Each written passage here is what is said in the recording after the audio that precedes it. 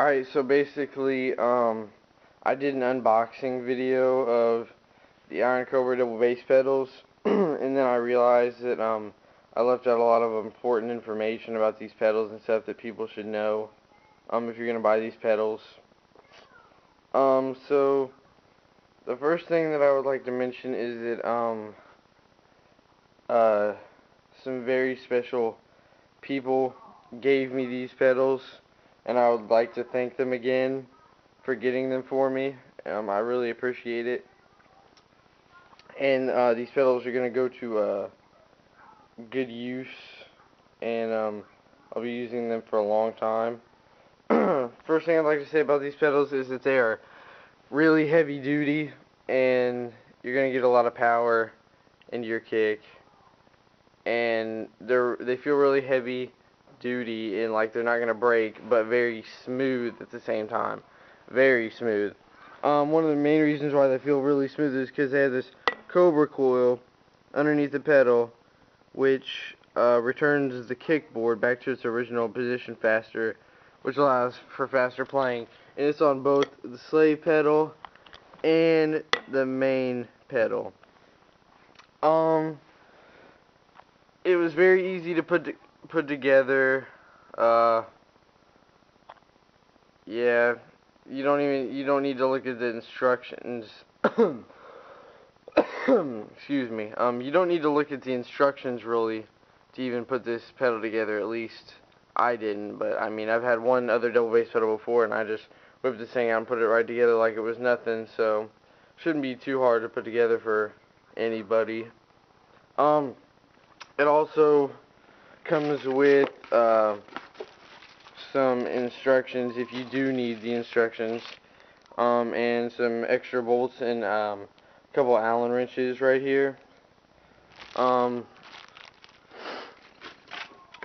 see oh and um, this is a iron it's a pretty heavy duty um, all black iron cobra carrying case so you can carry your uh, pedals in to gigs and shows and whatnot. Um, and it's really, really nice. And it even has a picture right here of what your pedals should look like when you um, put them in there when you want to carry them someplace. So you don't forget how to put them in, which is really nice. Um, also, there's a handy little tool down here um, on the slave pedal. I believe it's called a tom. Uh, it's called a uh, Tama hammer and um it has a regular drum key and then a Allen wrench and then another different size Allen wrench. And this will um, allow you to pretty much um, adjust anything on your pedals. And the drum key will also you can also use that for tuning your other drums on your drum set. So that's um, really nice and it just fits down right in here in this little thing on your um, slave pedal so you never lose it. Um, yeah, you can use this to um, adjust anything pretty much on your pedals, all these little things to um, extend your uh, your your um, drive um, to your pedals.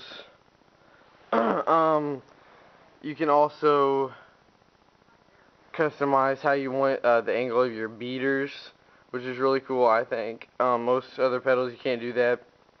You can um, adjust it back here with this little uh, thing, um, which you can stick the drum key part of the Tama hammer into to adjust the angle to make sure you're getting the right um, hit, I guess, on your bass drum, is really nice. Um, uh, you also have, just like on most other double bass pedals, thing right here to clamp down onto your bass drum. Um, yeah, overall, really nice pedal. I'm going to recommend it to any drummer, um, beginner, intermediate, or pro. Um, definitely going to last a long time. Um,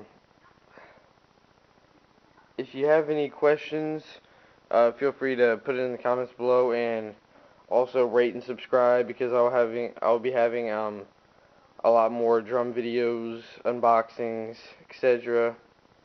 Um yeah, if you have any questions about the Tama Iron Cobra double bass pedal, I will feel happy to uh, reply to your uh, comments or questions. So yeah, this is an uh, kind of an unboxing on the Iron Cobra double bass pedal.